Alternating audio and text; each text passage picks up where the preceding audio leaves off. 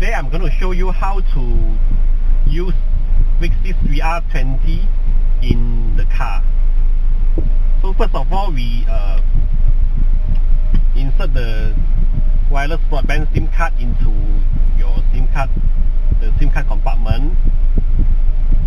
Cover it back. And then we use the uh, cigarette lighter adapter provide power to VR20.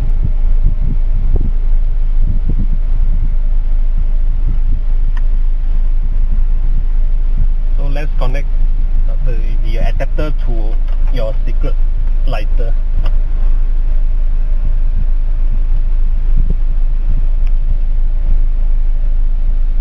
So the power is on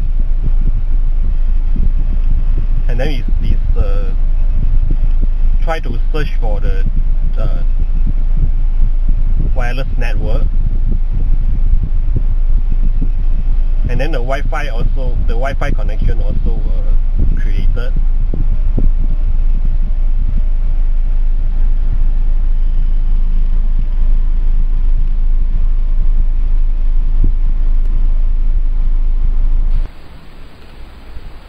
So now we try to connect to the Wi-Fi connection created by the device.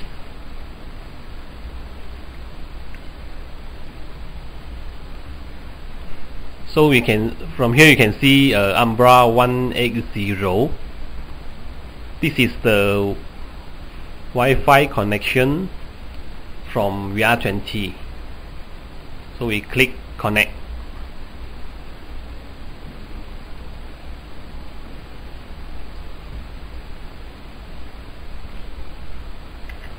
So we enter the profile name.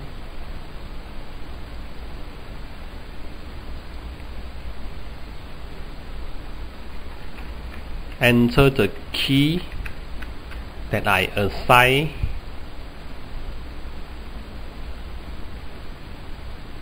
Click OK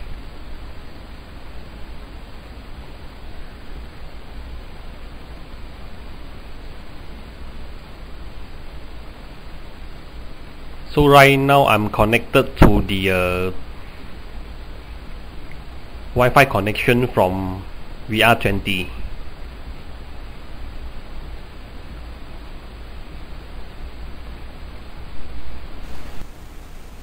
now uh, let us access the uh, configuration page of VR20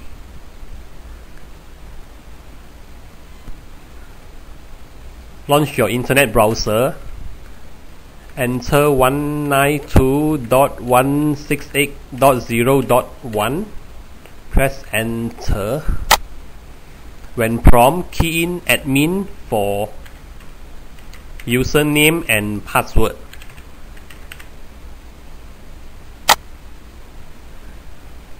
So this is the uh, configuration page of VR20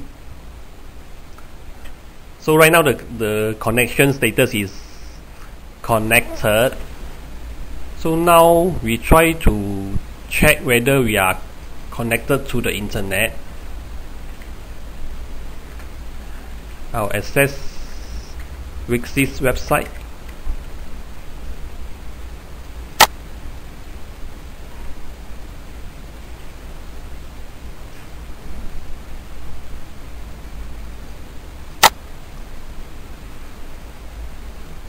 so we are connected to the internet.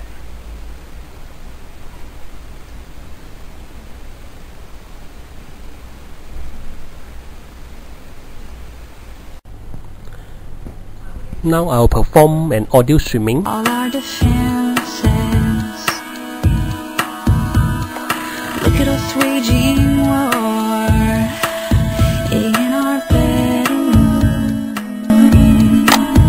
audio streaming Look quality at us very good jumping ship in our Diana.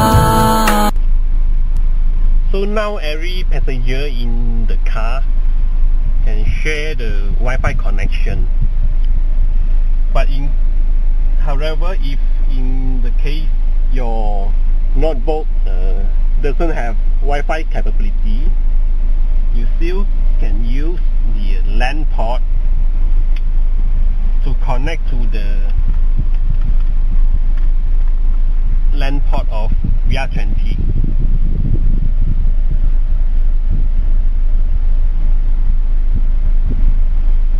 So wishing you're still able to, to, to share the connection through LAN port.